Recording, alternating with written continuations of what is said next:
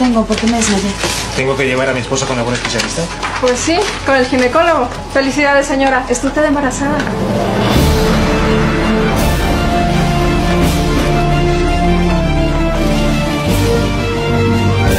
Mi amor, mi amor, no lo puedo creer. Por fin vamos a tener el hijo que tanto he querido. ¿Cuánto tiempo tienes de embarazo?